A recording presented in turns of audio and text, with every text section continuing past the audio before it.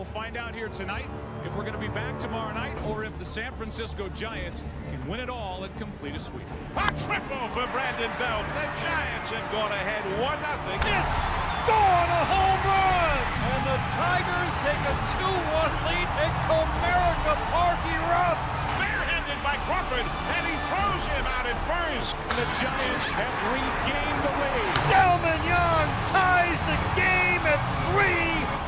going overtime for the 10th inning.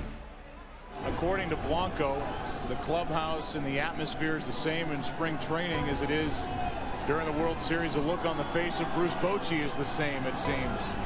In spring training, in July, in the World Series, whatever. Yeah, it all starts there, doesn't it, Joe? Marco Scutaro, who is so tough to strike out. In a spot where a base hit could put the Giants ahead. And Scutaro lines one into center field. Theriot tearing around third. Here comes the throw of the slide. He's safe at home plate. And the Giants have gone ahead four to three. And it's the playoff hero Marco Scutaro who comes through again.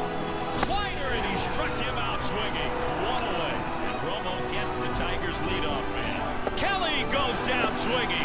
And the Giants are one out away. The one out, though, they'll have to get through Miguel Cabrera, the Triple Crown winner in the American League this year.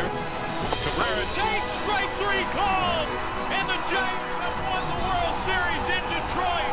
This group has done what the baseball analysts said they could not do, and they did it in four games.